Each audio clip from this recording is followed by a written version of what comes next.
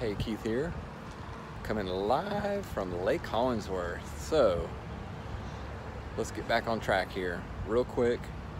Um, one hour, 17 pace, 17 miles an hour, obviously, it's like 17.3. Um, side still a little tender. I don't know if it was from the cough I had or, or what the dealio is, but I'm working through that. Um, you know, no pain, no gain. Um, more importantly, two weeks ago I completed my first Ironman. Um, family had a few questions, so I'll go through those real quick. Um, first one was, did I like the course? And if I did like the course, what was my favorite part about it? I would say, yes, I like the course. Uh, number two, I actually enjoyed the swim. The swim was my favorite part. It was an M, so I got to actually uh, swim an M, and I was pretty uh, excited about the M. It was a little confusing at first, but I worked through it. Um, second question from the family is, I had five surgeries, um, you know, over the past five years. So how did it feel to cross the finish line after, you know, going through all those hurdles and stuff? I would say I, I can't put in words. It was uh, very emotional, to say the least. Of course, it was emotional to finish an Ironman, a half, you know, 70.3.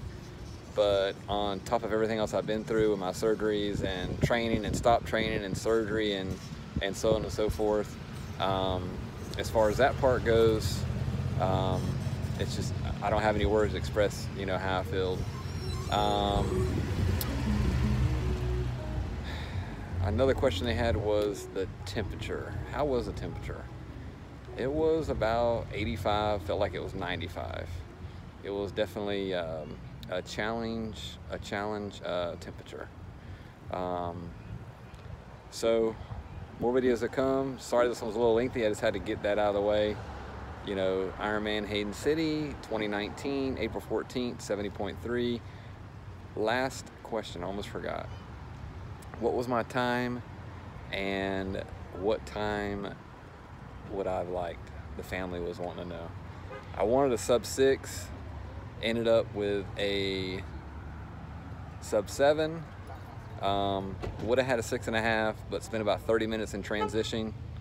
So you live and learn when you transition. So I will definitely speed that up come November for my full Ironman, 140 miles, uh, point one.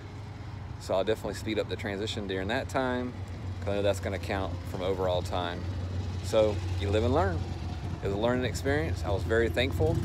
I was just grateful that I get to come out and do this and train and have a great time doing it. I'm very thankful. A lot of people can't even get out and do what the triathletes do. So kudos to all you guys training out there. So once again, please hit the like button.